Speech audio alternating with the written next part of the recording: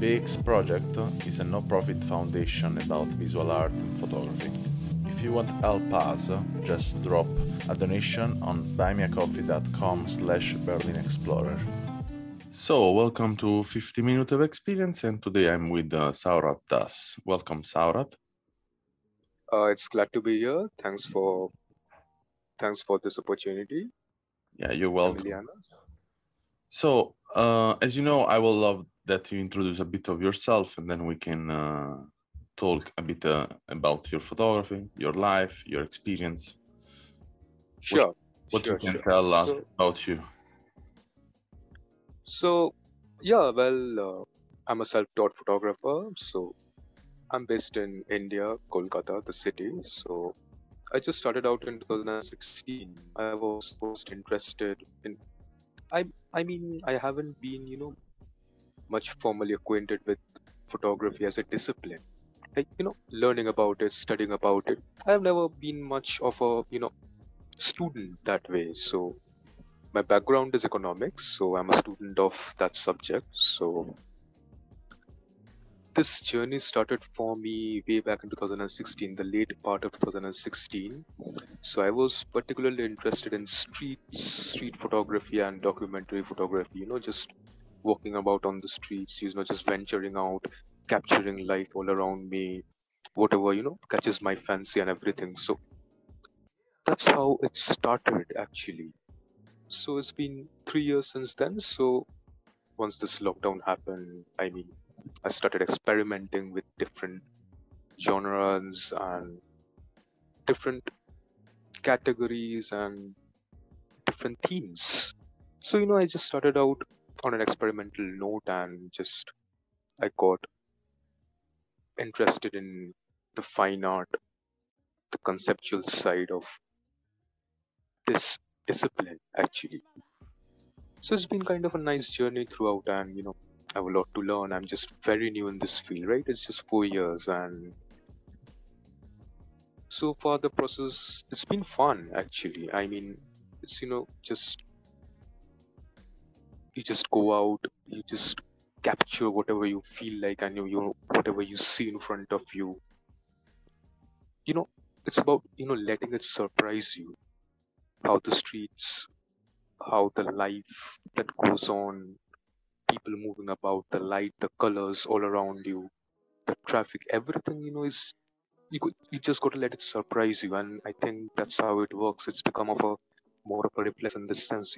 So you just go out with your camera, you just observe, you just look around, you just observe, you see something interesting, and you just click it. So that's how it it has been for me, and that's how I want it to be for the foreseeable future. So, right. Okay, perfect. So, um, I would love to know more about uh, uh, what. Uh, yeah, yeah. So now it's it's everything about surprising, and it's uh, and that's Yeah, yeah. I, I agree Of with course. you. Uh, but uh, you know, uh, it's really interesting because uh, other people when they start taking pictures, they are kind of uh, moved down uh, on influences from other photographer and Exactly. uh, exactly. your picture are so particular in some cases i mean it's like you're doing that from a life in some cases in some particular picture. It's like it's, it's really like that.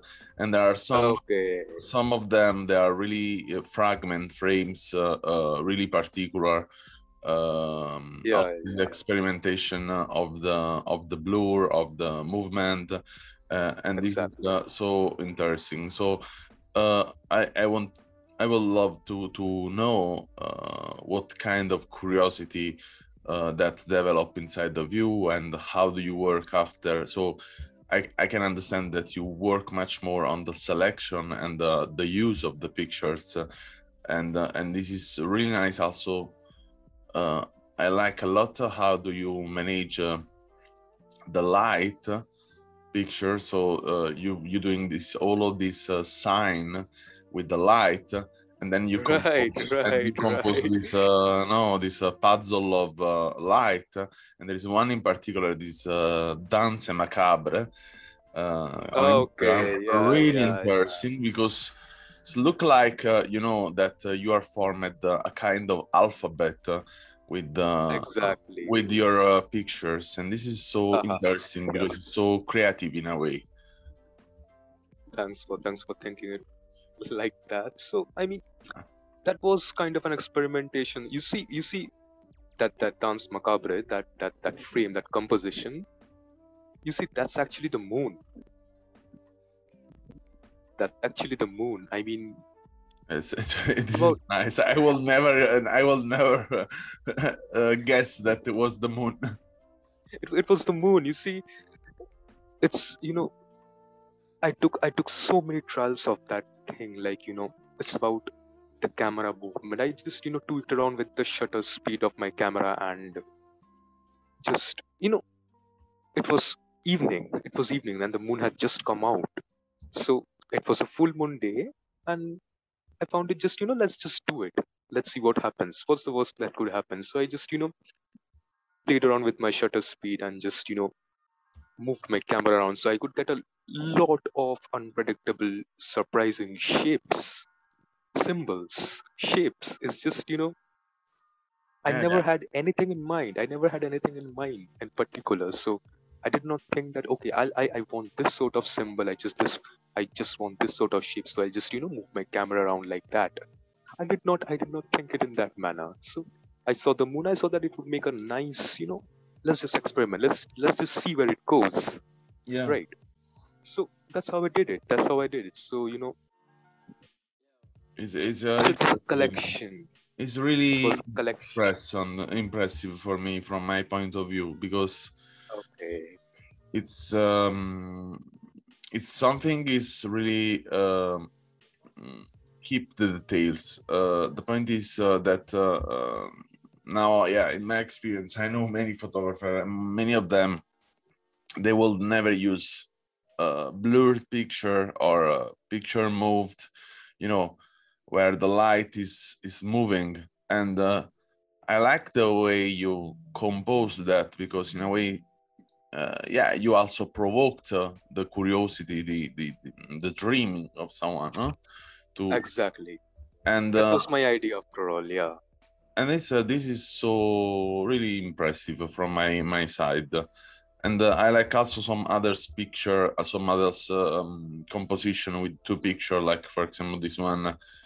I read is uh, in blindness, ambition now in overcoming the hard of color in nooks and crannies where none is discriminated, where all transcend in the one, the struggles wreak out of cracks and scars, searching for a realm of recognition as the senses being crosses over into the heady gray and the welcoming gateway become an abyss, taut and vacant, where no one can trespass. And this is so nice i mean and it's nice what you wrote um but yeah the the the picture are strong. I mean there are frames and there are details much more stronger than other portrait in a way yeah this is we can say these are uh portrait of yourself. And uh, this is what i want to ask to yourself to you uh, it's how much you see yourself in this kind of picture. And uh, how this picture in a way reveal to yourself uh, something new? It's about you know i personally believe that you know the kind of compositions i make or rather i attempt to make. You see i will just use the word attempt. I can just you know i just keep trying. Do you know? And i think i think it's kind of a exploration of oneself. I'm trying to explore my mind my psychology into via pictures I'm trying to utilize or trying to show or visually present. Like it's everything, you know, that goes on in my mind. Like particularly in this composition in blindness. You see, I tried to show a paradox. It, it was it's kind of a paradox. You see, there's the con- there's the concrete, there's the crack in the wall, and there's the rainbow. And on the other side, on the other panel, there the, the the window is cracked, the glass is cracked. There's no light going through that. Instead, the lights, the light can sorry, the light, the light can't, you know, the light can't move into the wall. The light can't move into the crack, right? So that's kind of like a paradox, I think, and I just, you know, tried to imagine what a blind person would feel like. A person who's just gonna, you know, who can't see, who can't see what colors look like. The, a person who can never see, who can never understand how they feel. Maybe, maybe that's what's going on in his mind, right? I mean, he's living, he's alive, he can't see, he can't see the colors. It's like this rainbow on a wall and the light can't go in. And at the same time, he's there's this window with cracks where the light doesn't go in, where there's no light. I mean, I mean that's kind of like a paradox. I think I tried to present in that composition. I feel so. That's kind I, of I repeat, it's it's uh, it's really impressive what you do. It's uh, it's really particular. It's really touchable, and uh, I like a lot personally. And uh, yeah, I will say continue to doing that because, in a way, it's really strong, and uh, par- and uh, it's different from the from what we are able to see every day Of course, yeah. I mean, it's I mean it's nice because you can catch some stuff we are we are uh, everyone able to see every day, but uh, we don't pay attention. And uh, I like also a lot this uh, this series you did uh, of uh, narrating loss, science okay, of life. no? okay, okay. It's, Yeah, it's yeah, yeah. really really simple and uh, strong. Uh, because in a way, yeah, this this is the point. The point in the end is you catch some object, object, some perspective of uh, uh, houses in the end of uh, Exactly. what what uh, Exactly. what human doing, uh, and, and without representing the the portray in a way you portray the human. So you see, it's kind of like when it comes when it came to the series Inheriting Loss, was you know, I did this in 2020 itself. You know, when everything was shut down and there were there was nothing open. I couldn't go out on the streets. So you you see, like it kind of brought me closer to my own home and to my own surroundings, and it's just you know helped me to look. It helped me to observe everything around me. So that's that was kind of an inspiration for me to be able to look.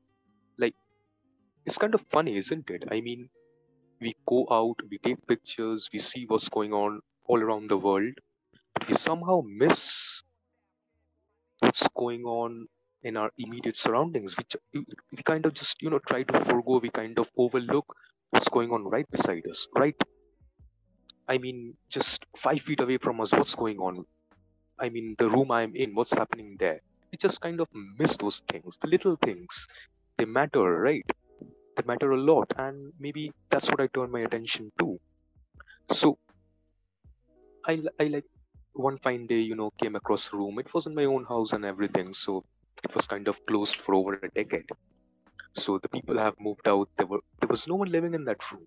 So for 10, 15 years, that room was locked and everything. So one fine day, I just went in. I just saw all these things, you know. I just saw all these things. A, a dying plant, or you know, tumblers of tumblers, utensils, a table, a broken chair, and every, everything like that. You just they were just there. They was just lying there. Nobody. There was there were nobody. There was nobody, not a human. You know, claim them. So okay, this is mine. This is my chair. This is where I sit.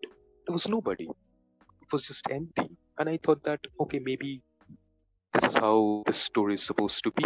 Like there's no one to claim them. There's no one around. There's no one to claim them. And it's like a you know it's like an abandoned memory of somebody and it's not even mine i don't know who these people are so like a part of me you know just wanted to know who these people were who who lived who lived in here i mean whose whose chair was it? Whose table was it? What like what did they do in this place? Like a part of me wanted to know more about it. And it's just kind of it was like a dying memory like i couldn't claim that memory as uh, as mine. I couldn't claim it as mine. I just you know i just wanted to tell a story. So that's where it came. I like i couldn't inherit anything apart from the apart from the idea of loss that there's nobody in here to claim them so that's kind of you know that was like my entry point for this entire series as a whole. It was kind of it took me like what? I just you know didn't make these pictures in over a week or in a month or so. I just took my time.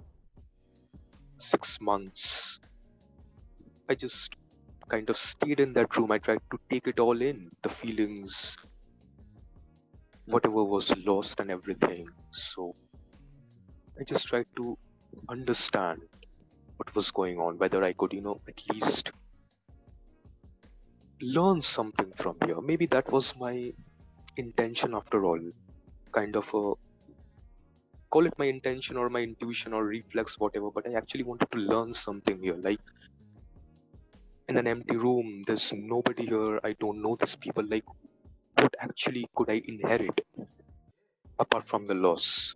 Maybe all that's left. So and all that's left are these empty things just people the things that these people have touched for some years. Like they are now abandoned. There's nobody to claim them. And they are not even mine. So that was my idea behind it all. And And that's that's tried- great. That's great. I, I will love that people uh, uh, sharing the experience in the, in this case, like you are doing. Uh, and uh, yeah, this is what uh, what the aim of this podcast is to sharing this Oh, okay. not not only the experience experience tangible, but also what we feel, what we see, what we understand, what we feel.